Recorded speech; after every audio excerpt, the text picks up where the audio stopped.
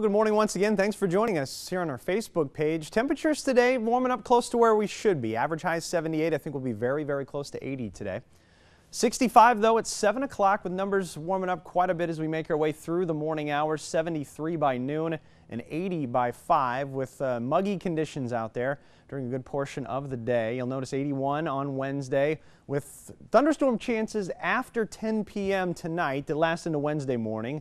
A break midday Wednesday, and then more try to develop during the afternoon. More storm chances on Thursday, and then by Friday, Saturday, Sunday, we start to see the system move out.